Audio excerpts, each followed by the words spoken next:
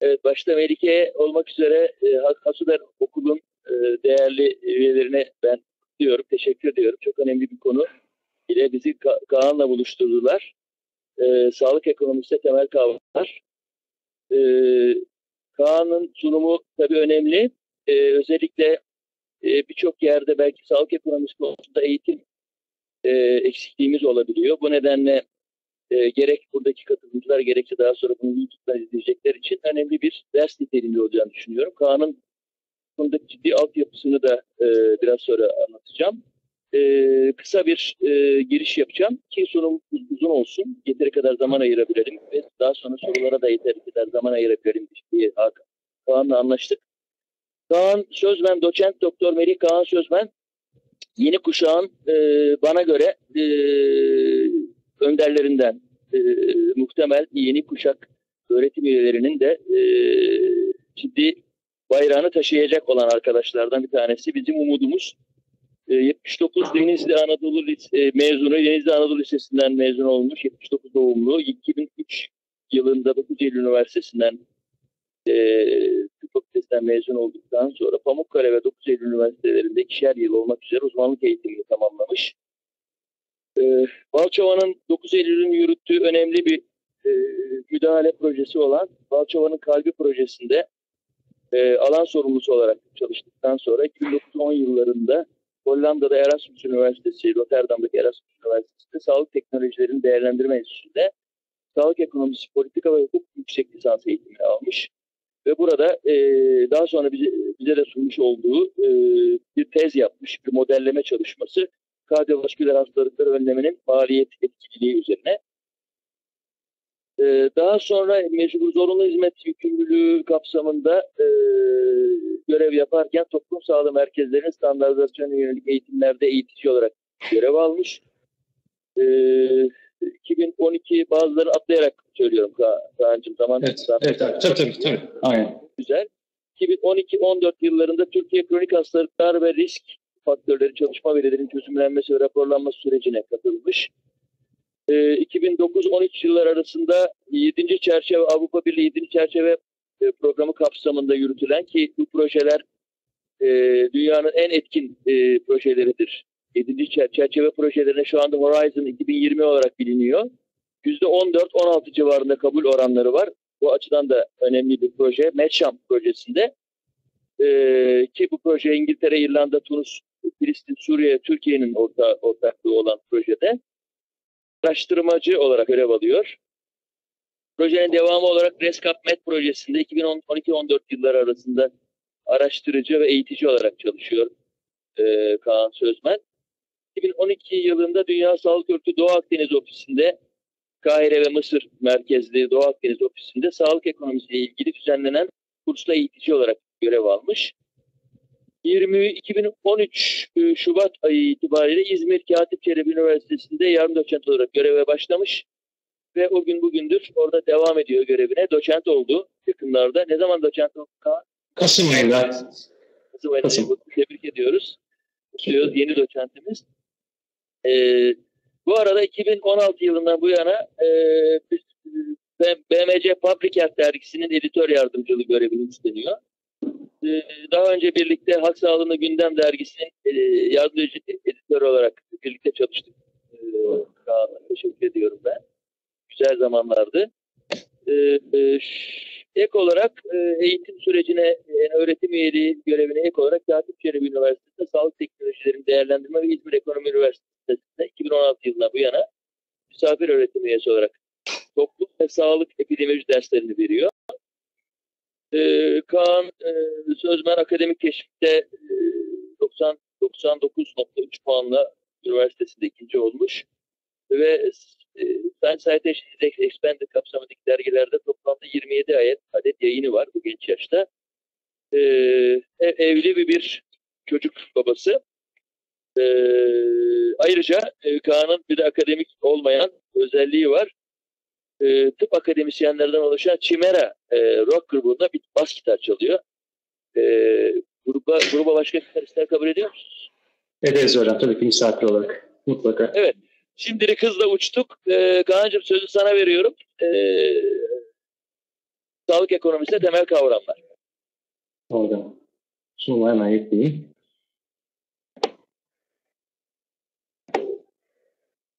Öncelikle hepiniz hoş geldiniz ve bu e, şansı bana verdiğiniz için teşekkür ediyorum. Size sağlık kavramlardan bahsedeceğim hızlı olarak ama sunuma başlamadan önce e, York Üniversitesi'nde profesör olan ve orada çalışmış olan Aaron Williams'ın bir e, kelimesiyle, cümlesiyle başlamak istiyorum. E, doktorların çoğu hastaların tedavisine karar verirken maliyetli göz önünde bulunması etik bulmazlar. Bu da çok tartışılan konulardan bir tanesi aslında bizim halk sağlığında da. Ancak ben onların bu görüşlerini yanıldıklarını düşünüyorum. Esas etik olmayan doktorların kendi hastaları için verdikleri kararların doğurduğu mali sonuçların diğer hastaların tedavilerine etkisini göz ardı etmeleridir. Bunda gerçekten tüm verdiğimiz kararlarda dikkate almamız gerekiyor diye düşünüyorum bir halk sağlıkçı olarak. Ee, bu slide genelde sağlık ekonomisi derslerinde ilk gösterilen slaytlardan bir tanesidir. Biz halk sağlıkçılarımızla oldukça yakından ilgilendiriyor. Ee, özellikle bulaşıcı hastalıklardaki son 100 senede, 150 senede önemli düşüşler var. E, hızlarında, oranlarında düşüşler var. Bu da tüberkülozla ilgili bir şey var. İşte 1840'lı yıllardan başlayarak bir düşüş var ama gördüğünüz gibi düşüşün %90-95'lik kısmı kemoterapi, e, yani işte izomiyazit bulunmadan önce ve BCG aşısı bulunmadan önce e, başlamış durumda. İşte Ama bu aslında- diye soruldu. E, gerçekten şey sorusu geliyor. İşte, ya, tıbbi müdahalelerden dolayı mı oldu yoksa aslında sağlığın sosyal belirleyicileri nedeniyle mi oldu? Buna birçok örnek veriliyor ve yapılan araştırmalara göre de e, tıbbi hizmetlerin sadece %10'luk bir kısmını bu mortalitedeki azalmayı etkiledi ve şu anda da gene benzer bir kronik hastalıklarda da hani hep nedenleri nedenleri deriz e, sağlığın sosyal belirleyicilerin e, önemli olduğunu söylüyorlar. Ve sağlık ekonomisinde ilk uygulanan şeylerden bir tanesidir. Tabii bunu daha sonra neyle bağlıyorlar? E, gelir düzeyiyle bağlıyorlar.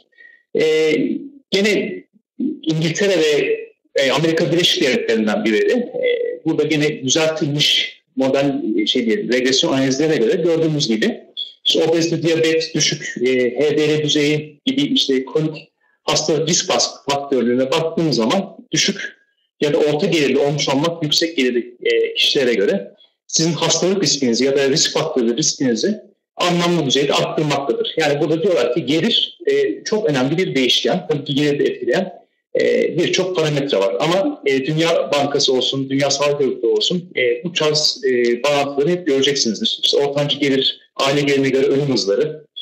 E, ve mesaj da şudur burada. İşte beyaz olmanız, işte siyahi olmanız ya da hangi sosyal grupta olsanız olun arasında gelir düzeyinde bağlantılar vardır. Bu bir Preston e, eğrisi. Burada da ülkeleri karşılaştırdığı zaman e, ülkelerin gelir düzeyleri arttığı zaman kişi başına düzen e, düşen, bunu bazen satın alma gücü paritesine göre düzeltirler. E, burada slaytta çok iyi gözükmüyor ama e, ne oluyor? İlk başta tabii ki yaşam beklentisini yükseltmek çok kolay ama ilerleyen dönemde, yani ilerleyen gelir düzeylerinde işte 20 bine 30 bine geçerken ya da 40 bine geçerken yaşam beklentisinde çok fazla e, artış olmuyor. Ama bu slaytın diğer bir mesajı da şu aslında. Aynı gelir düzeyine sahip ülkeler arasında da eşitsizlikler var. Yani mesela 20 bin e, dolarlık bir geliri olan ülkelerde işte Malta en üst düzeydeyken işte e, işte diğer Endonezya diyelim ya da Suudi Arabistan daha alt düzeyde olabiliyor. Ülke içinde çeşitli eşitsizlikler var. E, şimdi giriş yaptıktan sonra bunu çok duyacaksınız. Sağlık ekonomisinde bu bir varsayım, bu tartışılabilir ama bunun tartışmasına şu an girmeyeceğim. Çünkü e, bu bilim genelde bu varsayım üzerine dayanıyor. Sağlık sektörüne ayrılan kaynakların kısıtlı olması. Bu kısıtlı kaynaklar derken bunu sadece ekonomik olarak düşünmemek lazım ya da parasal olarak işte bütçene ayrılan pay olarak düşünmemek gerekiyor. Buradaki sağlık personeli, sağlık personeli dışında bizim de kişisel bireysel olarak bir doktor olarak da zamanımız nedir? Sınırlıdır. Yani şöyle düşünelim, makaleye bir vakit ayırırsak, bu makaleye ayırdığımız vakitten dolayı eğitime vakit ayıramayabiliriz. Ya da eğitime vakit ayırırsak işte poliklinik yapamayız gibi. Sonuçta yap, belirli tercihler yapmamız gerekiyor ve bu tercihlerin sonucunda da bir ne yapıyoruz? Sağlık hizmeti üretiyoruz. Ama diğer bir amaç sağlık ekonomisinde e, nedir? En yüksek düzeyde sağlık hizmeti üretmektir. Ve bu sağlık hizmetini üretmek derken aslında sağlık çıktılarının en üst düzeyde. Yani aşılama oranları varsa aşılama oranlarının en yüksek düzeye çıkaralım. İnfant şey, bebek mortalite hızlarını en az düzeye düşürelim. E, hedefler var ama tabii ki hedefleri de en iyi biçimde görüştürmek gerekiyor. Yani ortalama değerlere bakmak değil, Sonuçta işte ne diyoruz? Doğu ile Batı arasında şu anda Türkiye'deki bebek ölüm e, hızları arasında ciddi farklılıklar var. Ya da e, gelir düzeyine göre, eğitim düzeyine göre ciddi farklılıklar var. İşte bölüşüm derken de aslında bundan bahsediyoruz. E, burada yatay ve dikey eşitlik kavramlarını bilmek lazım ama zaman e, kısıtlı olduğu için bunları geçeceğim. Aslında kaynakları en iyi bölüştürmek diğer bir hedef sağlık ekonomisinde. E tabi bunu tek başınıza yapabilir misiniz? Yapamazsınız. Bu sadece ekonomistlerin işi değil. E, yurt dışında bu genelde ekonomiyle ilgili bilimlerde veriliyor ve sağlık idaresi bölümü bilimde veriliyor ama e, benim eğitim aldığım yerde multidisipliner. Yani işte ekonomistler vardı, iş ekonomistleri vardı, sosyologlar, istatistikçiler, e, işte tıpla e, ilgili e, branşlarda çalışan kişiler, eczacılar ve epidemiyologlar, klinik epidemiyologlar, halk sağlıkçıların mutlaka olması gerekiyor. Bir ekip çalışması gerçekten tüm konuya hakim olmalı. E, bu üçlü yapıyı da çok görürüz bir sağlık ekonomisinde. E, bu da çok temel bir kavramdır. E, aslında bu ilişki ne bu ilişki? Bir finansman kurumu vardır. Bu devlet olabilir, sosyal güvenlik kurumu olabilir ya da özel sigorta olabilir. Ülkeden ülkeye fark etmektedir. E nedir? Özel sigorta ya da SGK çok para almak ister. Ama aynı zamanda da hizmet sonlarına az para ödemek ister.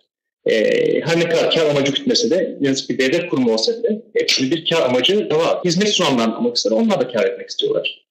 Şu anda bizim devlet hastanelerimizde olduğu gibi. Yani üniversite olsun, şey olsun. Tabii ki ödeme sistemi de ülkenin sistemlerine göre değişiyor ama e, gene de bir kar amacı ne yazık ki var. E, hizmet sunanlar sağlamlara yönelik yapıyor hastalara. E, onlar da tabii ki onların üzerinden gene kar etmek istiyor. Hastalar ya da sağlamlar da biz de tabii ki güvenlik kurumuna az para ödemek isteriz. Ama çok hizmet almak isteriz. Ama işte bu ilişkiyi düzenlemek oldukça zor. E, sağlık ekonomisi niye farklı deyince şöyle bir şey var. Ekonomik teori üzerinden aslında çıkıyor her şey. Burada da bir Pareto optimalitesinden e, kaynaklanır. Burada şöyledir. Üretici, tüketici ve faktör sahiplerinin birinin durumu kötüleşmeden bunlardan bir başkasının durumunun iyileştiğinden mümkün olmadığı bir kaynak tahsis durumu vardır. Yani kaynaklar öyle bir dağılmıştır ki serbest piyasada bir kişinin durumu kötüleşmeden başka birinin refahı artamaz. Ama sağlık ekonomisinde tabii ki bu refah teorisi ve diğer teoriler e, şey yapmıyor, tutmuyor. Aynı istatistikleri nasıl diyoruz işte regresyon analizi yapmak için belirli parametreler olması lazım ya da belirli varsayımlarımız vardır. O varsayımlar sağlık ekonomisinde olmuyor. Neden olmadığını şimdi teker teker değineceğim. Ee, bir tanesi öngörülmeyen ve düzensiz talep. Normalde serbest piyasada bunu kısmen öngörülebiliyor.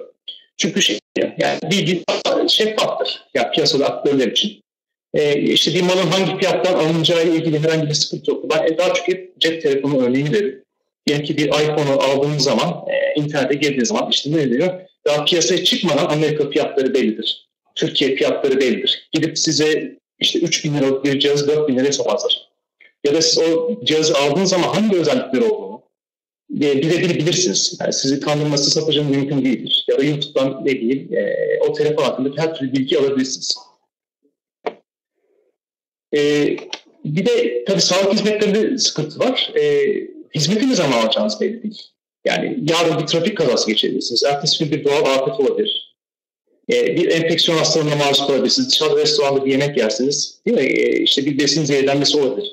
Ee, burada hizmetin ne zaman, nasıl ve ne ölçüde gerçekleşeceği belirsizlik var. Bir. İkincisi de biz şu anda mesela devlet konumunda çalıştığımız için primlerimiz düzenli olarak ödeniyor ama özel e, sektörü düşünün. Başka hiçbir hizmet yoktur ki siz hizmet almadan parasını önceden ödeyesiniz e, sağlık ekonomisi ya da sağlık sektörü bu açıdan diğer e, sektörlere göre biraz farklılık gösteriyor.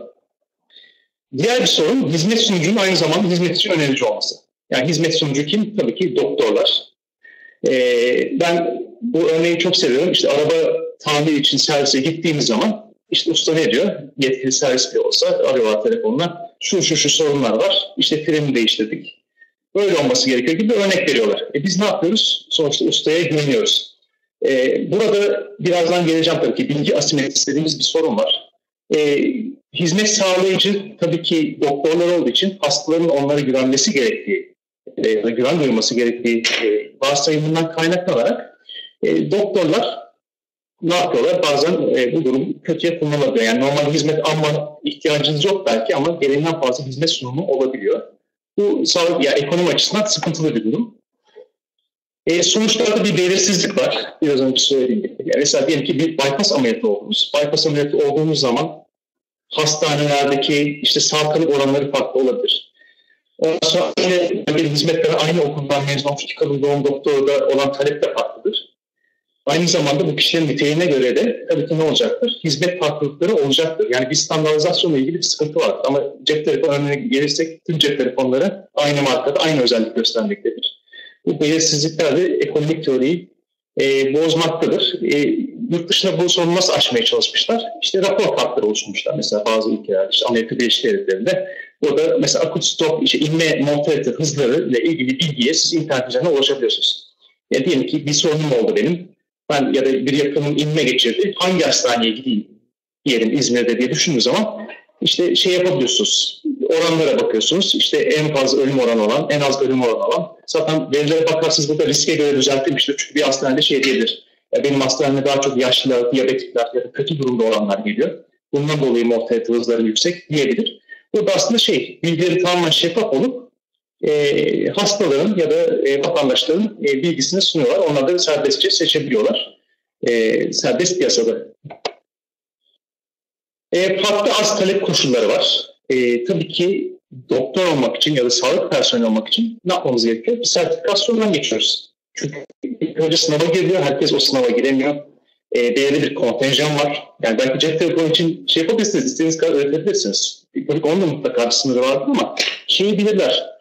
E, ama üniversitelerin kapasite sınırlıdır. E, belirli sertifikasyon vardır. Belirli şartlar vardır mezuniyetle ilgili. E, işte diploma ile ilgili olsun mesela. Ee, onun dışında da şöyle durumlar da olabiliyorsunuz. Her zaman hastalarda istediği hastaneyi ve doktoru da tercih edemeyebilir. Aslında bu karşılıklı olan bir durum.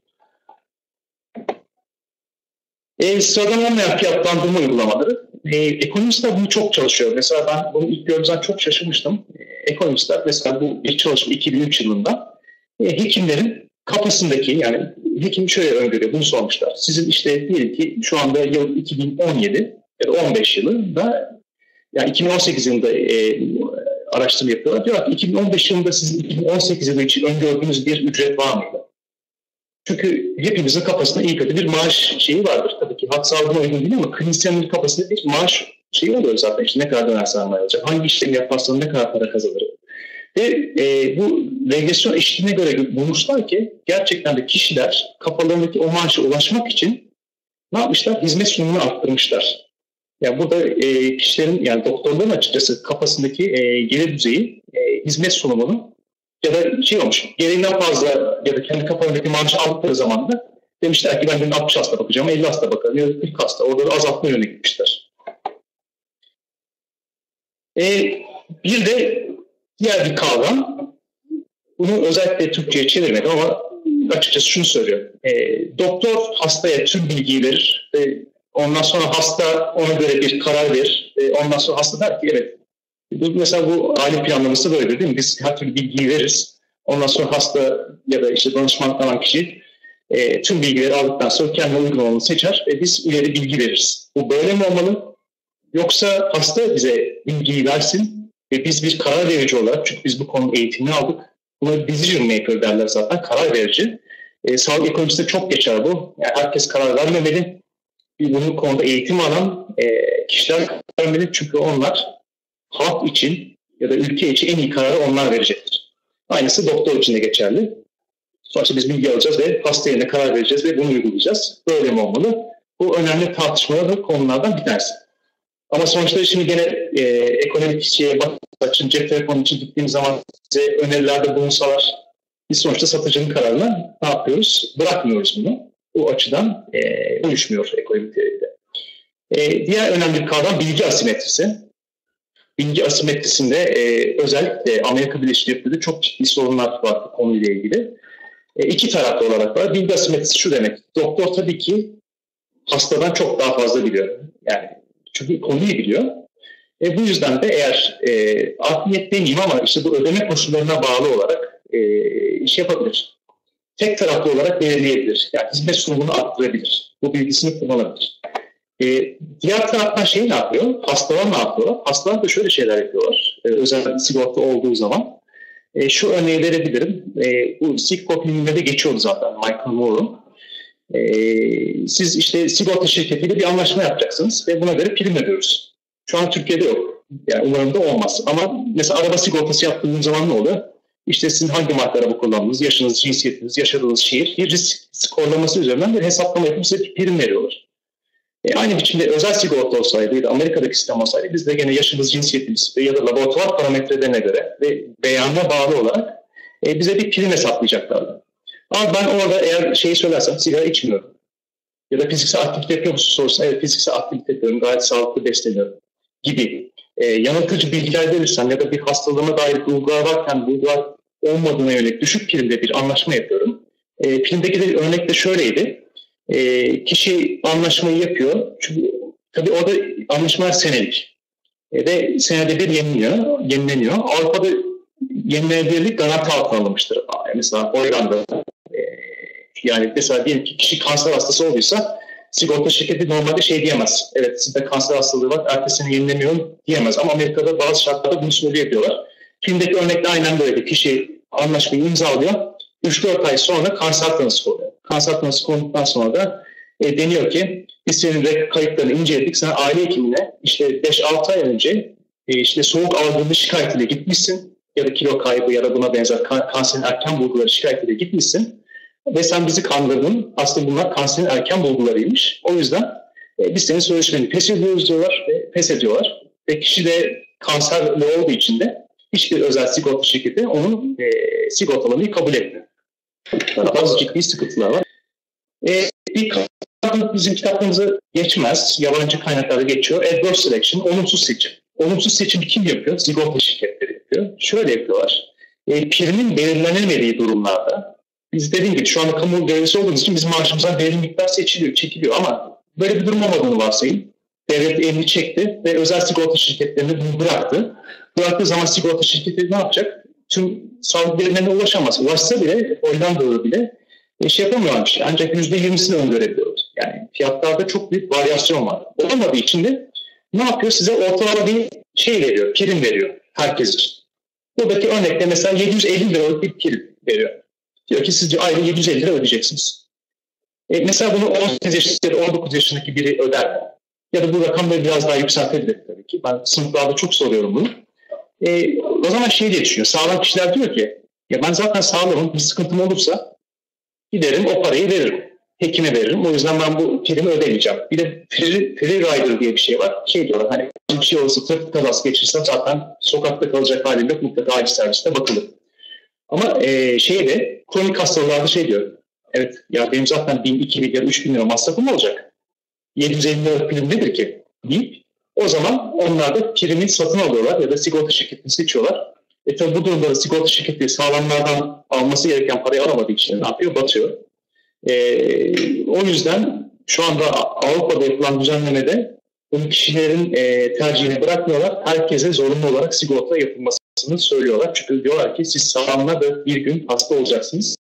Sizin paranız da e, sağlama ödeyecek ya da bazen de riske göre düzeltilmiş değerler yapıyorlar. Herkese 750 lira değil de işte kronik hastalıkları varsa onun primlerini biraz daha arttırıyorlar ya da bunu devlet sübvanse ediyor, destekliyor. E, moral hazard, e, manevi zarar, bu da önemli bir kavram. E, sağlık güvencesi olan bireyler hastanede sağlık güvencesi olmayanları sağlık hizmetleri aşırı tüketmesi. Aslında bu şu anda Türkiye'de olan durum. E, ne diyor? Çünkü primi ödüyor ama hayır, şu anda cepten ödemeler her ne kadar kısmen olsa da işte acil servislerin durumu olsun, diğer polikliniklerin durumu olsun. Yani kişi başı kullanım oldukça fazla. Yurt dışında olmayan bir şey bu. E, çünkü umursamıyorsunuz. Hekim umursuyor mu o da umursamıyor. Çünkü hekim de ne yapıyor? Diyor ki bu kişinin zaten sigortası var diyor. Gidiyor tüm tetkikleri işaretliyor. E, manevi zararın bir kısmı bu. Halk sağlığı açısından bakarsak da şöyle e, kişiler kendi sağlıklarıyla ilgili herhangi bir koruyucu önlem almıyorlar. Çünkü diyorlar ki ben zaten hastalanırsam zaten benim sigortam var ve bir biçimde beni tedavi ederler. E, ölçek ekonomisi ve monopoli bu da diğer bir kavram. E, Avrupa Birliği'nde bu konuyla ilgili uğraşan hocalar vardı. E, ben Erasmus Üniversitesi'ndeyken. Şöyle ki e, rekabetin mutlaka olmasını istiyorlar. Yani competition mutlaka olmalı. Bunun nedeni de şu. E, rekabet olursa kalite artar, fiyatlar azalır. Ama bunu tabii ki Amerika Birleşik Devletleri'ndeki vahşi düzeyde yapmıyorlar. E, buna managed competition diyorlar. Yani rekabet devlet kontrolü altında. Nasıl kontrol altında?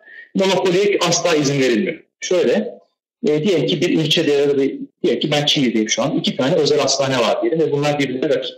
Sonra eğer bunlar anlaşırlarsa e, aynı çatı altında toplanırlarsa o zaman fiyatları arttırabilirler. Ve Avrupa Birliği yasaları buna asla izin vermiyor. Hatta hangi hastaların nereden geldiğine dair böyle coğrafik bilgi sistemleri kullanarak analizler yapıyorlar. E, o yüzden şu anda Avrupa'nın da sağlık ekonomistlerinin görüşü şey, e, çok fazla şirket olsun ve bunlar birbirine rekabet etsinler ve biz de bu değerlerini değerlendirelim. Yani sağlıkçıların değerlendirelim. E, dışsallık bu externality diye geçiyor. E, bizi de ilgilendiren aslında bir kavram ve sağlık ekonomisi, normal ekonomik teoriyi bozan kavramlardan bir tanesi. Şöyle ki mesela benim diyelim ki iPhone telefonum var. Bu telefonun size herhangi bir faydası var mı? Tabii ki yok. Sadece bana faydası var.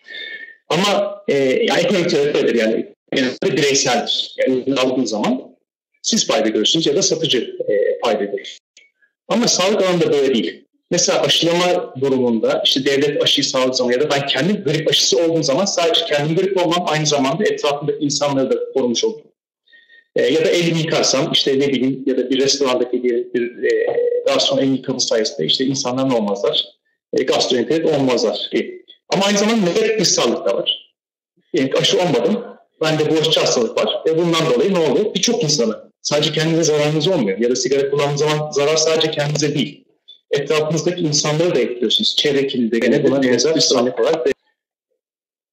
E, ilk e, üç bundan bahsedeceğim. Bu bir tanesiydi. E, diğer konu çok tartışılıyor. Sağlık harcamalarının arttığı. Yani bu kötü bir şey mi?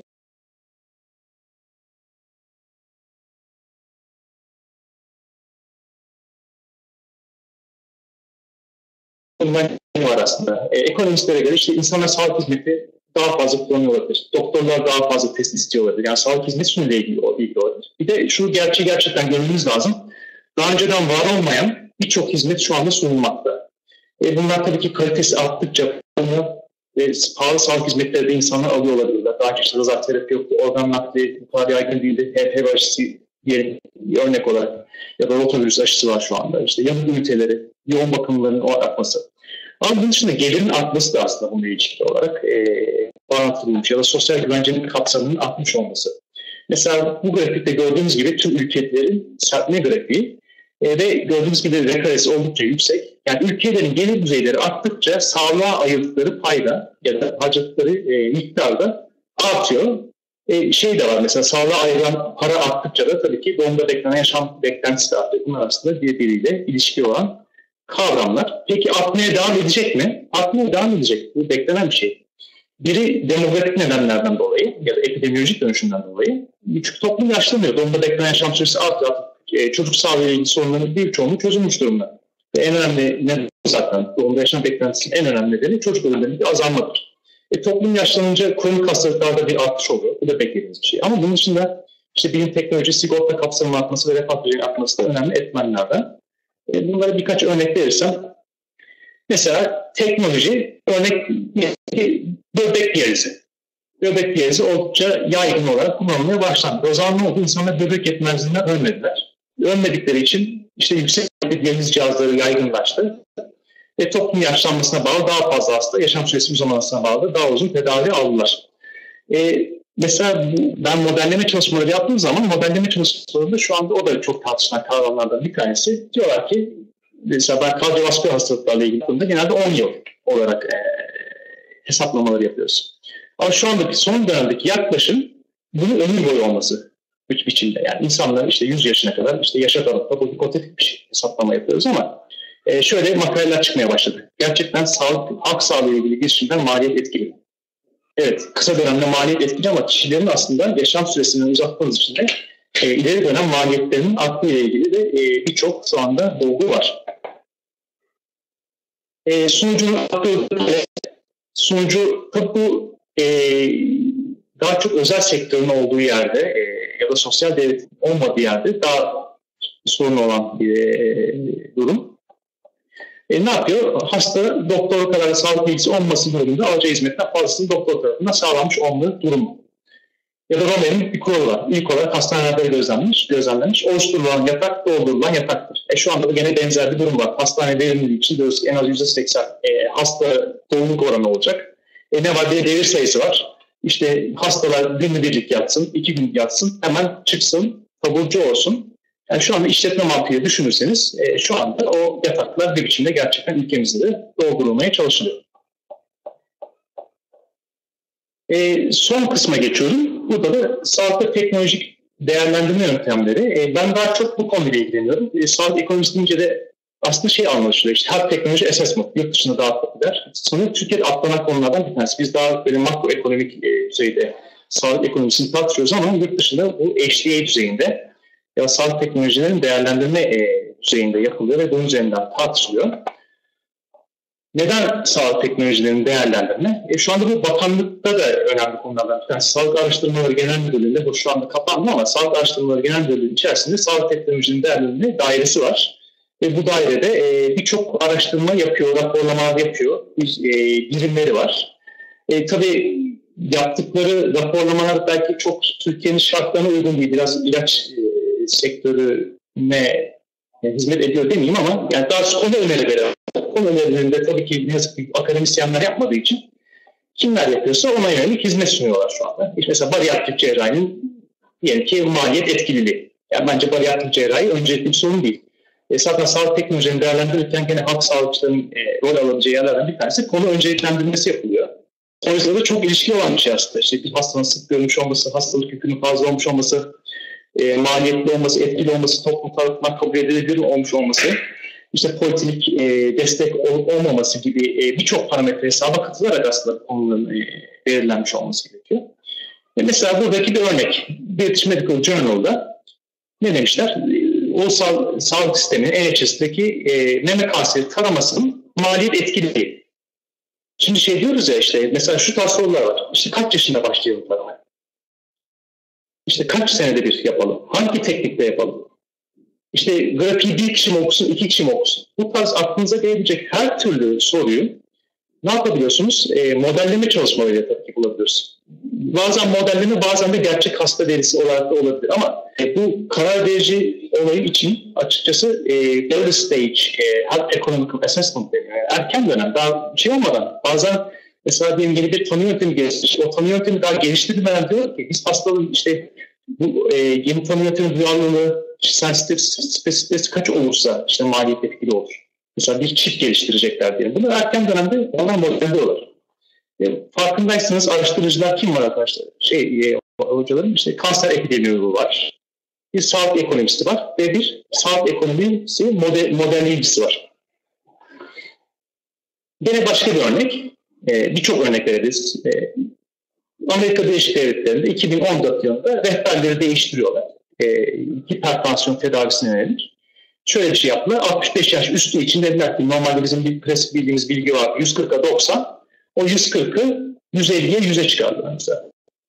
E, dediler ki artık şu yaş grubunda işte tansiyon zaten e, yükseliyor ya da modelleme çalışması yapıyorlar. Diyorlar ki e artık yani şey 140'ı düşünmemize gerek yok. Yani 150 uygundur.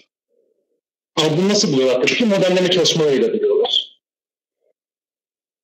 E, değerlendirme yöntemlerinde amacımız ne?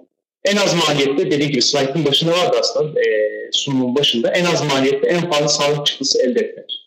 Yani maksimize etmek. En az kaynakları harcayacağız. En fazla sağlık çıktısını sağlayacağız. Kaynaklarımızı verimli olarak dağıtacağız.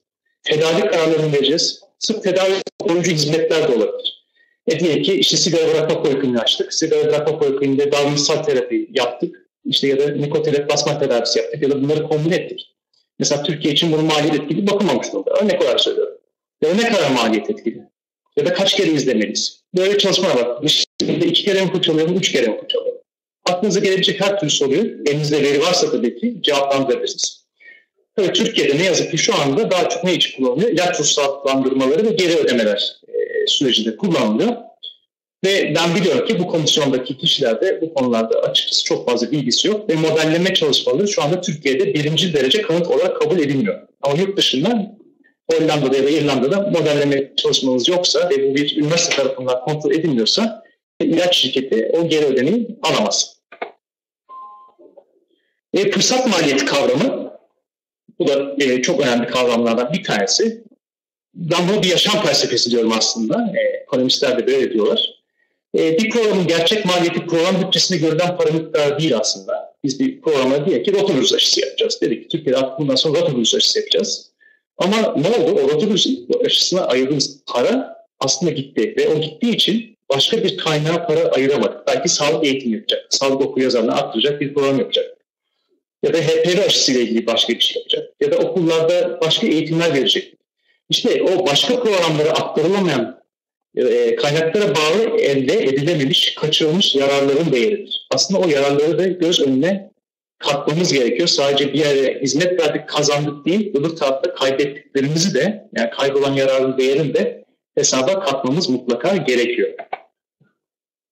Ee, burada bir animasyon vardı ama soru şuydu. İşte bir seans IVF, in vitro fertilizasyon 3000 euro. İşte kombinal implantı 1 bölü 3'ü. Bir tane bypass ameliyatı yapabiliriz. Aynı parayla 150 tane kızamık aşısı yapabiliriz. İşte ama aynı dönemde eğitim, Milli Eğitim Bakanı diyebilir ki okul öğretmenin yarım dönemlik maaşı. Ya da işte sağlıklı beslenme önemli diyoruz. Çocuklara sağlıklı 2000 tane okul yemeği verebiliriz. 2000 çocuğu ne yapabiliriz? Doyurabiliriz sağlıklı olarak. Ee, Savunma Bakanlığı diyor ki Challenger iki tankının işte binde bir. Sonuçta e, vergilendirme sisteminin olduğu yerde biliyorsunuz bütçe görüşmeleri oluyor ve bu tarz e, tartışmalar aslında oluyor. Maliyetler kendi içerisinde e, belli alt başlıklara ayrılıyor. Doğrudan maliyetler ve dolaylı maliyetler. Biz doğrudan maliyetler kısmı diyoruz. Doğrudan maliyetler de kendi içerisinde ikiye ayrılıyor. E, sağlık hizmetleri kullanımı ile ilgili olan ve sağlık hizmetleri dışı e, kullanımı ile ilgili olan. E, buna birazdan geleceğim. Şöyle bir şey var. Biz sağlık ekonomisi makaleleri yazarken mutlaka bu checklistler var ya işte stop gibi, işte consort gibi sağlık ekonomisi gibi de checklistler var. Mutlaka bir perspektif belirtmemiz gerekiyor. Yani biz bu hesaplamayı kimin gözünden yapacağız? E, burada gene bence hak savaşçıları ya da bizim bakış açımızda e, fark ediyor. İşte sağlık, sosyal güvenlik kurumu perspektifinden mi bakacağız? Hastane perspektifinden mi bakacağız? Sağlık bakanlığı perspektifinden mi bakacağız? Yoksa toplumsal düzeyde bakmamız gerekiyor. Aslında toplumsal düzeyde bakmak gerekiyor ama mesela şu anda İngiltere'de diyor ki NHS parayı ödediği için NHS e, perspektifinden bakmak gerekiyor. O yüzden işte üretim kayıplarına mesela bakmamız lazım değil gibi rehberlerinde bildiriyorlar. Yani mümkünse aslında en geniş perspektiften bu hesaba katmak gerekiyor. Neden? Şöyle, çünkü yaptığımız hesaplamalar değişiyor. Burada toplum tabanlı bir e, program var psikiyatri ile ilgili. E, diğer bir programda hastane temelli. Toplum temelleri, hastane temelli baktığım zaman işte primer tedavi maliyetleri toplum temelde daha fazla. Eğer sadece şeyi hesaba katarsam, tedavi masraflarını hesaba katarsam ama sonra ben alanda izledim. Daha sonra o kişilerin işte hastaneye tekrar başvuru oranları azaldı gibi diğer parametreleri hesaba kattığım zaman e, baktığım zaman aslında sosyal açıdan daha ucuza geliyor toplum tabanlı. İşte bu biraz aslında şey ilaç şirketi diğer e, ne diyelim veride manipülasyon demeyeyim ama e, bakış açınıza göre aslında bunların hepsinin konmuş olması gerekiyor. Her şeyi hesaba katmış olmanız gerekiyor. Ya sadece hastane maliyeti değil, o kişi gerçekten işine tekrar geri dönüp e, üretmeye başlayabilecek mi? E, ya da işte hastalığı tekrar ayarlayıp hastaneye gidecek mi? Sadece hastane kalış süresindeki maliyetleri hesaba katmak ne yapacaktır? Gerçek resmi bize göstermeyecektir. Ve dolaylı maliyetler işte bu bağlamda çok önemli. E, bununla ilgili çalışmalar ne yazık ki çok az ülkemize. Yapmak da hiç kolay değil. Nedir bunlar? İşte hastalıkları ölüme bağlı, üretim kayıplarına bağlı maliyetler. Mesela iş sağlığıyla da ilgili olan bir tanesi. E, ne oluyor? Kişi hasta oluyor ya da işine devam edemiyor. E, buna bağlı olan üretim kayıplarına bağlı çok maliyet var. Çalışılmayan gün olabilir, iş kaybı olabilir. Buna bağlı e, ücret kayıpları olabilir. Üretkenlikte kayıp olabilir. Yani sadece kişiyle ilgili değil. E, bu iki yöntemle hesaplanıyor. Bilmiyorum daha önce duydunuz mu ama biri Human Capital Approach ve Friction Cost Method. E, ilkinin Türkçesi var. E, insan kaynakları yaklaşım olarak ben literatürü gördüm ama Friction Cost Method bu yok. E, bir de bu slaytta şöyle bir şey söylemem gerekiyor. Yurt dışında Amerika ve e, Avrupa Birliği, Avrupa ülkeleri arasında bir çekişme var. Amerika Birleşik Devletleri'nin yaratmış olduğu herhangi bir terminolojinin mutlaka bir karşıtı e, Avrupa'da özellikle İngiltere ve Hollanda bu konuda başı çekiyor. Bu mesela Human Capital Approach Amerikan tipi yaklaşımdır. Friction Cost Method'da işte İngiltere ve Hollanda Erasmus Üniversitesi'nin yaratmış olduğu bir yaklaşımdır. Human Capital Approach'ta bireyi sermaye yatırımı olarak görüyor ve e, şey yani aslında şey ne kadar para kazanıyorsunuz? Serbest şey diyor e, pardon. Varsayım şu çalışanın değeri kazancı kadardır. Çünkü adil bir piyasa hiçbir çalışana katkıdan daha fazla ödeme yapmaz. O yüzden eğer kişilerin maaşları varsa maaşları üzerinden diyelim ki 50 yaşında bir kaza geçirdi ve 65 yaşına kadar çalışamayacak. İşte 15 yıl süredeki ortalama maaşı. Ama veri yoksa ne yapıyoruz biz? İşte TÜİK'ten e, yaşam koşulları ilgili ya da gelir düzeyiyle ilgili veriler var. Onlar da yapılabiliyor. Ve askeri ücret üzerinden hesaplamalar yapılabiliyor. Ev kadını olursa? Pardon hocam? Ev kadını. Ev kadını olursa orada da şey askeri ücret üzerinden. Onların hesaba katıyorlar. E, friction cost method daha farklı. Burada işlenen perspektifine göre hesaplı. Orada da tüm süre değil. Yani işte kişi 50 yaşında öldü. 65 yaşına kadar 15 senelik kaybı değil. Çünkü diyor ki zaten işsizlik oranları yüksek ve o kişi öldüğü zaman ya da hasta olduğu zaman dışarıda bir süresiz var. Ve onlara iş olanağı ortaya çıkmış oluyor. Ve o gelene kadar ki yani kendisinin yerine yeni işçi gelecek ya da çalışan gelene kadar bir süreyi hesaba katıyor ve Hollandalılar bunu hesaplamışlar. Her bir iş için, iş kolu için teker teker bunların süreleri var. Ee, ya diyelim ki şurada bir örnek onu silmişim. Ya diyelim ki hamburger restoranında bir sonra tabii ki onu yetiştirmek çok daha kolay olacaktır. Belki 2-3 gün olacaktır işi öğrenene kadar. O yüzden sadece o 3 günlük süreyi hesaba katıyor. Ama bir doktor e, hastanın e, farklı bir daha e, nitelikli iş konudaki bir kişi için e, daha uzun süre olacaktır. Mesela bir örnek meme ve prostat kanserin üretim şey productivity e, maliyetiyle ilgili bir karşılaştırma. İki yöntemi karşılaştırıyor. Human Capital Approach ve Friction Cost'a göre hesaplasak ne olacaktı? E, tabii ki Friction Cost'a göre hesapladığımız zaman gördüğünüz gibi toplam e, üretime bağlı kayıtlar, e, dolaylı maliyetler çok çok daha azalıyor. Doğrudan maliyetler işte bu bizim en fazla kullandığımız. Çünkü hesaplaması çok daha kolay. Ee, işte hospitalizasyon, tedavi masrafları, tanı giderleri. Ama hesaba katmadığımız şu, doğrudan tıbbi olmayan maliyetler. Yani siz o sağlık hizmetini almak için sonuçta ne yapıyorsunuz? Bir ulaşım gideri harcıyorsunuz. Ya da hastalar tarafına ya da aile bireyleri tarafına ilgili hasta harcanan zamanın değeri. Mesela buna yönelik çalışmalar yapmıyoruz ama yurt dışında çok fazla yapılıyor. Bu şey, e, boş zamanın değeri var mı? Evet, boş zamanın bile bir değeri var. E, bununla ilgili araştırma yöntemleri var. Siz şey diye soruyorsunuz mesela, işte refakatçi, işte çocuk, kişi öğretmen, o anda öğretmenlik yapamıyor ya da başka bir işte çalışamıyor. E, ya da kişi sadece hiçbir yerde çalışmasa bile onun boş zamanında bir değeri var ve bu ölçüleyip hesaba katılabiliyor. E, kaynak kullanımı nasıl belirliyoruz? E, çalışmalar, derlemeler, rehberler, faturalama biriminden e, verileri alabiliyoruz. Hasta kayıtları, uzman görüşleri ve anketler. Burada hızla geçeceğim. Birkaç örneğim var. İşte e, şöyle diyelim. Mesela faturalardan alabiliriz verileri. Ama faturalarla ilgili şöyle bir sıkıntı var. Türkiye'de şimdi sosyal güvenlik perspektifi olduğu için evet faturayı alabiliriz. Ama hastane perspektifinden bakarsak Türkiye'de şöyle bir şey deniyor. Mesela hasta, hasta diyelim ki yoğun bakımda e, bir hastaya hemşire hanımlar pozisyon veriyorlar. Ama bunu diyor ki SGK günde iki kere kontrol yapıyorsun. Yani siz altı kere belki pozisyon verdiniz bası yarası olmasın diye. SGK bir kere bunu öderim diyor. Ya da kan şekerini siz dört beş kere ölçtünüz. Orada diyoruz ki beş kere ölçülmüş ama ben bir tanesini öderim diyor. O yüzden SGK perspektifine bakmak aslında maliyetleri olduğundan az gösteriyor. Ya da muayene ücreti basıp bakın burada 20 lira. Sadece konsültasyon miktarını gösteriyor. Aslında buraya hani daha geniş perspektif derken demek istediğim gibi vizitlerin e, maliyeti dediğimiz zaman işte oraya hoca geliyor, asistanlar geliyor, bir zaman harcıyorlar. O zamanın da e, değerinin hesaba katılmış olması gerekiyor.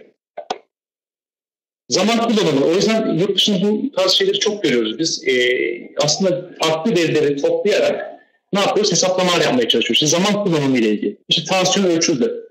Onun bile aslında bir değeri var. Ya bir tansiyonun içinde kadar zaman harcanıyor. Burada bir varfarin tedavisi birinci basamakta ortalama harcanan süreler. İşte tabii aralıkları da var. Aralıklar da sağlık ekonomisi çok önemlidir. Çünkü duyarlılık analizleri yaparız biz bunlarla. Ortalama ne kadar süre ve minimum maksimum ne kadar e, olmuş diye. Delphi panel. Şu an Türkiye'de ne yazık ki e, en çok yapılan e, araştırma bu ve ne yazık ki şey olarak da kabul ediyorlar. Gördüğünüz gibi birçok araştırıcı var orada. E, ilaç şirketi destekli. Ne yapıyorlar? Uzman görüşü. Yani sizce, tabii birçok araştırma da bunun doğru olmadığını gösteriyor zaten. Yani sizce diyor işte bir kalp krizi geçiren hasta ortalama kaç gün yatar? Öbürü diyor 3 gün, öbürü bir başka hoca 5 gün diyor. Sonra onların ortalamasını alıp oradan bir kaynak kullanımına göre hesaplama yapmaya çalışıyorlar. Ama sonra bunun hakkı ilaç şirketi geri ödemede bunu kullanıyor. Diyor ki benim ilacım diyor hastane yatışını diyor bir gün azaltıyor. Evet ben ilacım 100 lira ama bir hastane yatışı ortalama 1000 lira siz 1000 lira kar ediyorsunuz buradan gibi argümanlar sunuyorlar. E, Dünya Örgütü varsayımlar kullanabiliyor. E, tüm dünyada hesaplama yapmak için. E, diyor ki işte tüm dünyada eğer şu ilaçları kullansaydık bir işte şey danışmanlık 10 dakika sürseydi ne kadar olurdu gibi. E, tabii dünyada yapmak için e, bunu yapıyorlar. E, şu mesajı vereceğim ben. Bakın e, Almanya'da yapılmış bir çalışma. E, inme ve transyen iskemik atakla ilgili. Hasta grafiğine baktığınız zaman toplam maliyetlerin içindeki paylara baktığımız zaman tanı %23, işte rehabilitasyon %5, doktor ücreti %19 ama non-medical care dediğiniz non-medical care e, şeyler işte yemek masrafı, ondan sonra ısınma masrafı, güvenlik, temizlik, aklınıza gelebilecek diğer tüm hizmetler e, çok ciddi bir metre oluşturuyor. Yani biz hep diyoruz ya sağlık hizmeti işte ilaçlar şu kadar kadar tutuyor, tanı bu kadar tutuyor. Aslında hastanecilik ya da hastaneyi işletmek gerçekten çok ciddi e, paralar tutuyor ve bunda e, hesaba katmak gerekiyor bu bağlamda. E, indirgeme iskonto, bu belki duymuşsunuzdur. E, sırf bunun üzerine doktor yapan insanlar var. E, Hollanda'da görmüştüm ben. Size şöyle bir soru sorsam, size bin lirayı bugün ya da beş yıl sonra vermeyi önersem hangisini Ya da siz bana bin lira verecek olsanız bugün yoksa beş yıl sonra ödeme yapardınız? E, bu davranışsal ekonomi diye bir alan var. E, bunu çok tartışıyorlar. Belki oyun teorisini duymuşsunuzdur. Sorduğunuz soruya göre e, insanlar farklı cevaplar verebiliyorlar. Ya da e, bunu Becker-Murphy modeli var mesela. Şeyle açıklamaya çalışıyorlar. İşte sigara bağımlılığı ya da insanlar bağımlısı ama ne zaman bırakacaklar? Bir sunum hazırlayacaksınız. Hepimiz farklıydı değil mi? Son ana kadar bekleriz. Evet, iki, başka birimiz diye belki ben ilk gün yapacağım. Geri kalan e, rahat edeceğim gelir. İşte bu davranışsal şeyleri e, ekonomiyle bağdaştırıp insanların neyini e, hesaplamaya çalışıyorlar. Yani davranışların üzerinden e, kararlarını e, belirlemeye çalışıyorlar. Çünkü bir şey var, zaman tercihimiz var. Ya biz yararları bir an önce elde etmek istiyoruz ama maliyetlere geç e, şey yapmak, ulaşmak istiyoruz ya da harcamak istiyoruz. Çünkü bu şundan önemli. Aşılarla ilgili. Aşılarla ilgili ne var? Diyelim ki HPV aşısı. Biz 12 yaşındaki bir kız çocuğuna yapacağız. Cinsel birlikleri olmadan önce. Ama yararını ne zaman alacak? 50 yıl sonra alacak. İşte biz 50 yıl sonraki yararını aslında hesaplıyoruz. Yani işte koal ya da dali hesapladığımız zaman ama maliyeti şu an doğuruyoruz. Ya da benzer biçimde işte sigara kullananı şey diye düşünüyor. Evet şu anda bırakırsam ben yani 20 sene 30 sene sonra belki kanser olacağım ama onun riskini o kadar az görüyor ki. Çünkü kafasında indirgiyor. İşte bu indirgeme oranlarını hesaplayıp e, karar verme sürecinde kullanılıyor.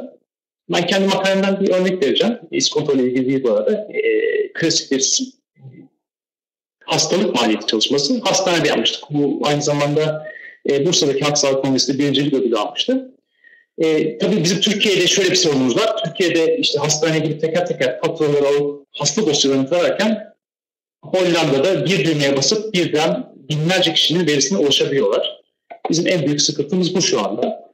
Ama aslında amacımız şu. Tabii ki maliyetler önemli ama sağlığı bakış açısına bakarsak bu maliyetleri neler belirli? İşte cinsiyete göre fark etmiş. Ne bileyim işte şeker hastası olanlarda ne kadar fark etmiş? Mesela burada işte düzeltmiş olanlara göre şeker hastası olmak ya da sigara kullanmış olmak düşünsenize kalp krizi geçiyorsunuz ama siz şeker hastasıysanız ya da sig- sigara kullanıyorsunuz sizin maliyetiniz içmeyen kişiye göre 1.27 kat daha fazla.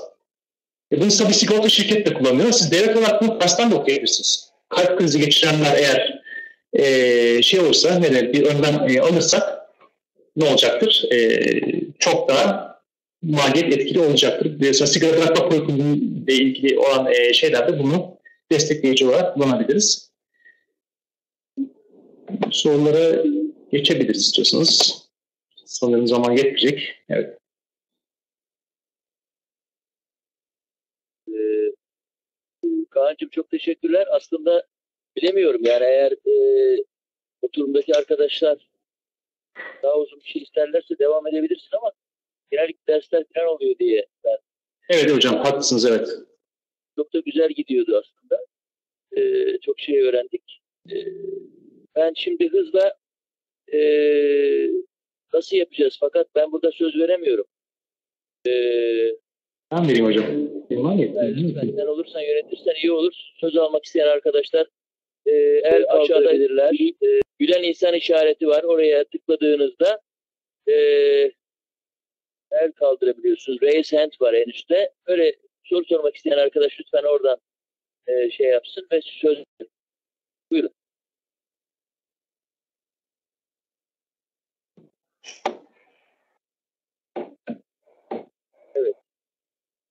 Var mı soru? Ben bu arada- Ee, ben bu arada e, şey yapayım. Arkadaşlar düşünürken şey sorayım ya da bir şey ekleyeyim. izin verirseniz. Şimdi biz eskiden e, sağlık ekonomisinin e, kapitalist e, arz talep dengesine uyumsuzluğu ilgili şey söylerken öğrencilere şey söylerdik. Aslında senin burada tabii farklı arz talep koşullarına uyuyor bu. Birisi ertelenebilir olup olmaması sağlık hizmetinin. Diğeri de Evet. ikame edilebilir olup olmaması. Yani yerine konu, e, konulabilir olup olmaması. Ee, bu konuda kısa bir şey yapmak ister misin? Açıklama yapmak ister misin Kaan'cığım? Yani sen bunlardan e, öğrenciler aktarırken yani örneğin e, ben e, beyin ameliyatı olmayayım da onun yerine e, apandisit ameliyatı olayım. Böyle bir özgürlüğümüz yok. Doğru mu? Tabii yok hocam. Evet. Aynen Yani yerine koyamazsınız. olmayayım da Ben bugün olmayayım da bir sene sonra olayım. Ama bir no frost. Yok. e, yani onun yere bir bugün ben param çok yok no frost buzdolabı almayayım. Seneye alırım. Bu sene ben Aynen. normal buzdolabı alayım diyebiliyoruz. Değil mi? Evet, evet. Aciliyetine göre öyle oluyor. Haklısınız. ertelenebilirlik, ikame edilebilirlik derler eskiler. Ee, bir de ben şey soracağım. Ee, hizmeti sunanla hizmeti finanse eden aynı mı olursa iyi, fa- farklı mı olursa iyi? Yani bu çok tartışılan bir konu. Sağlık ekonomisi açısından. Hocam denetlenirse iyi. Öyle diyeyim size. Denetlendikten sonra devlet tarafından hepsi iyi olabilir. Ya yeter ki denetlensin. Çünkü mükemmel sistem, yani sistem yok. Açıkçası bu şey ödeme sistemlerinde de hekimlere işte yani işte e, kafa başına mı yani fee for capital olsun, fee for service olsun ya da performansa dayalı ödeme olsun dediğiniz zaman hepsinin artıları ve eksileri var ve şu ana kadar hani mükemmel ödeme sistemi bulunmamış ya da işte hastane finansman sistemiyle ilgili e, şey yok ama genel verdikleri mesaj devletin mutlaka iyi bir kontrol edici olması e, ve verileri toplayıp anında e, gerekli müdahale yapmış olması gerekiyor. Bir soru var. Ee, arkadaş işaretleri var ama boş zaman maliyetini ve benzeri de katı e, dediniz. Konuda bir sınır var mıdır? Nerede duracağız? Hangi maliyetleri katacağımıza karar verirken? Boş zaman maliyeti derken diyelim ki yatalak bir hasta var. Ee, ya da diyelim ki hastaneye yattı, ayağı kırık, kalça kırığı ile ilgili. Mesela diyelim ki bir kişinin anneannesi hastaneye yattı. Orada da diyelim ki ortalama bir hafta boyunca yattı. E, bir hafta boyunca o süredeki şeyi almamız gerekiyor tabii ki. E, ona? Boş zaman maliyeti hesaplamamız gerekiyor. Ama bu boş zaman maliyeti herkes için fark edebilir. E, bununla ilgili soru yöntemleri var. E, sonuçta benim boş zaman maliyetimle e, başka bir insanın tabii ki farklı olabilir. Orada tabii şeyi hesaba katıyorlar işte. E, kişi akademisyense tabii ki farklıdır. Ama burada tabii kişinin görüşü önemli. Yani öyle bir soru soruyorlar ki sorular şuna benziyor. Yani şu an imkanlı olsaydı mesela ne yapmak isterdin? İşte şunu şunu yapmak isterdim. Bunun için mesela kaç lira verirdin? Sen kaç lira verirdin? Yani senin yerine başka biri bakacak olsa sen kaç lira verirdin gibi. Yani buna benzer sorular soruyorlar. E, burada tabii şey var. E, davranışsal ekonominin demin nedeni şu. E, game theory yani oyun teorisi yapıyorlar. E, orada rakamların belirli bir e, düzene göre arttırılıp azaltılması durumu var. Yani işte, diyor ki kişi 1000 lira diyor. Siz 900 olmaz mı? Ya da 1000'den 800'e düşüyorsunuz. Onların algoritmaları var. Çünkü o algoritmalara göre de kişilerin resmen pazarlık yapıyorsunuz. Onu söyleyeyim. Pazarlık yapıp bir ortalama değer bulmaya çalışıyorsunuz. Ama tabii bunu birçok kişi de yapmak gerekiyor ve ortalama değer bulmak için. Işık tom, e, toplantı da e, kontrol listelerini nereden elde edebiliriz diye soruyor konsort gibi. E, bunlar web sayfalarına var. Direkt yani consort yazarsınız stok gibi sağlık ekonomisiyle ilgili de web sayfaları var. E, internet üzerinden ulaşılabiliyor. Ben de yardımcı olabilirim bu konuda. Son şu kon- kontrol listeyle ilgili bir şey söyleyeceğim. Mesela British Medical Journal gibi dergiler şu anda şey yapmaya başladı. Bu consort bizim sağlık ekonomisi modellemesi ilgili bir şey başımıza geldi böyle. e, sisteme yüklüyorsunuz. Daha technical check'te şey diyor. İşte mesela perspektifi söylediniz mi? Yani her bir maddenin karşılığını sizin e, makalede şöyle demeniz lazım. İkinci paragraf, üçüncü satırda bunu belirttim. diye göstermeniz gerekiyor. Yoksa edit, şey, editöre bile gitmiyor. E, Tayyar Hoca Tay- Tayyar Hoca. soru sormuş. Sen okuyorsun herhalde Kaan'cığım. Evet. Sağlık öncelikler belirlenirken kısa vadedeki yararlama uzun vadedeki yararlama daha önemli plan diyor. Ve acil burada çözebilecekler mi? Şimdi hocam şöyle açıkçası dediğim gibi modelleme çalışmalarında e, bence açıkçası şöyle hepsini. Bu bir kanun değil aslında. Yani modelleme çalışmaları ya da bu karar verme süreci de e, şey. Zaten bu karar veren kişilerin de genelde politikacılar olduğunu düşünürsek yani bu konuda ne kadar eğitimleri var o da e, cidden e, gerçek anlamda sorgulanması gerekiyor. Ama benim yurt dışında gördüğüm o bizim gerçekten TOYS'daki gibi parametreleri kullanıp her birini hesaba katıyorlar. Yani etik sorunları, eşitsizlikler bağlamında olsun, işte aciliyet varsa tabii ki acil bir şeyin tabii ki işte bu e, öyle bir şeyse daha e, hızlı çözülmesi gerekiyor ama e, ikisini de hesaba katıyorlar. Biz zaten o yüzden duyarlılık analizleri diyoruz. Yani duyarlılık analizi şu demek. E, ikisini de ya olabilecek tüm e, senaryoları hesaba katıyorsunuz. Yani burada mesela şey diyelim, e, hastalık maliyetiyle ilgili aralıklar var. Geriye gideyim örnek olarak. E, diyelim ki işte angina pectoris için 881 artı eksi 2900 gibi bir range var. Şöyle bir durum var. Hastanede bir şey 3000 lira da olabilir, 1000 lira da olabilir, işte 8000 lira da olabilir. Modelleme çalışmalarında tüm parametreleri de hesaba katıyorsunuz. Ya da modeli bir 5 sene, bir 10 sene ya da 15 sene mesela yürütüp acaba sonuçlar fark ediyor mu? Fark ediyorsa neden fark etmiş olabilir gibi. E, olasılığı hesaba katıp ona göre karar veriyorlar. Ama bazen de şey yapabiliyor tabii popülist e, politikalarda önemli olur. Çünkü şöyle hükümet açısından düşünürseniz de erken yanıt alabilecek olan şeyler daha önceliklendiriliyor şu anda zaten ülkemizde de. Çünkü sonuçlarını hemen görmek istiyorsunuz ya da halka hemen göstermek istiyorsunuz. O yüzden zaten halk sağlığı girişimleri biraz e, şey oluyor, geride kalıyor. Çünkü hemen sonucu göremiyorsunuz ki. Ama modelleme çalışmayla bunu gösterip kişiler ikna edilebilir. Zaten yurt dışında da yapılan bu daha çok. Senin şu modelleme çalışmanı İzmir'de sunmuştun sen. Evet hocam. Onu da, onu da, onu da bir senden isteyelim. Bunun devamı olsun. Böyle programların Tamam. arkadaşları önerelim onu. Ee, Işık Hanım ekonomisi, sağlık ekonomisi için konsol çok benzeri listeler var. Var, evet. Var, liste var evet. Ee, onu daha sonra belki bir haberleşirsiniz, iletişim kurarsınız. Ee, Tamam. yine Hüseyin e, Küçük Ali politika belirleme aşamasında farklı perspektiflerle yapılan değerlendirmelerin uzlaşması nasıl mümkün oluyor diye. Ee, uzlaşması şöyle bence mümkün olmaz. Ben şimdi şey rehberlerin geliştirmesiyle ilgili, yani klinik rehberlerin geliştirmesi rehber e, geliştiriyoruz Türkiye için. E, e, araştırma kısmı bu, BAP. E, orada birçok rehberi inceledik şu anda. Yani yurt dışında olan e, önemli ülkelerin rehberlerini inceledik. Orada şöyle deniyor, yani bazı konularda sosyal perspektif. Yani konuları bölmüşler. Bazılarını diyorlar ki sosyal perspektife gerek yok. Sadece işte dediğim gibi NHS gözünden ya Sosyal Güvenlik Kurumu gözünden ya da Sağlık Bakanlığı gözünden alacaksınız diyorlar. Çünkü gerçek yani tabii şey olabilir yani halk sağlığı ilgilendiren koruyucu e, hizmetlerde sosyal perspektifi belki hesaba katmak daha iyi olabilir ama çünkü mesela bazı hastalıklar var çok nadir görülen bir hastalıkla ilgili bir şey. E, zaten yaşam süresi mesela bir zaten o kişilerin oldukça kısa.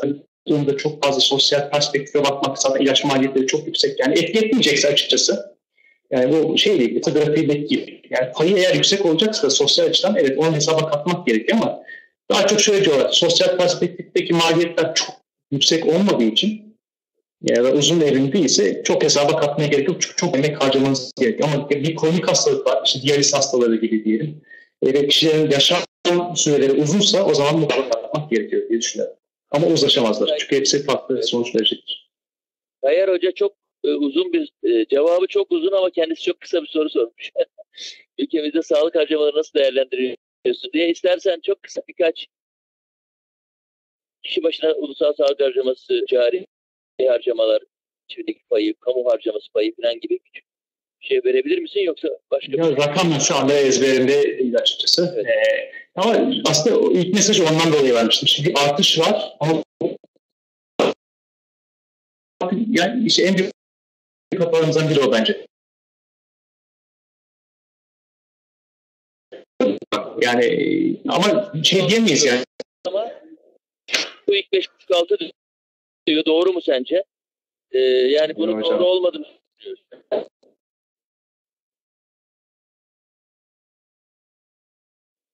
değil muhtemelen. Bir de nasıl hesaplandığı da önemli. Yani hangi kalemi, çok, çok açık değil. Hangi kalemleri aldı, satın alma gücü kalitesine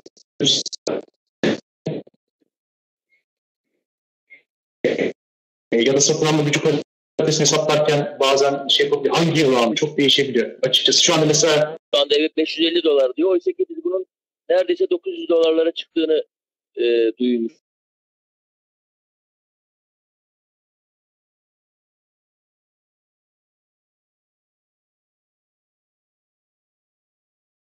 duymuştuk. Yani son daha daha doğrusu başka kaynaklardan öğrenilme daha varmış.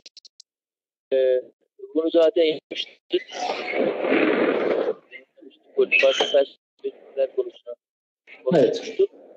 Değil mi? Ee, başka Evet. var mı? Ee, evet. Kaan'cığım, e, valla benim de vardı bir sürü sorum ama şimdi e, şey oldu, çok hızlı geçti, çok verimli oldu.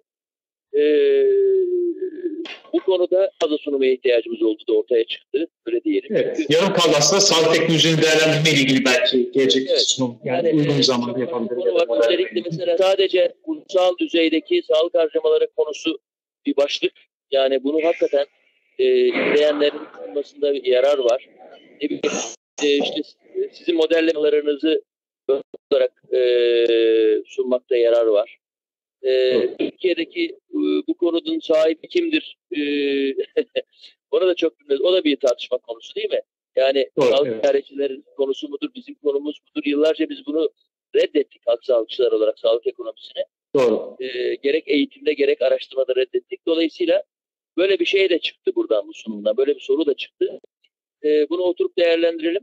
E, ben kutluyorum. E, harikaydı. Çok güzeldi. E, ondan sonra devamını diliyoruz. E, izliyoruz.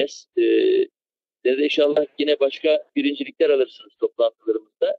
Diğer genç arkadaşlar da öyle. O, ilgi duyun. Yani sağlık ekonomisi önemli bir konu.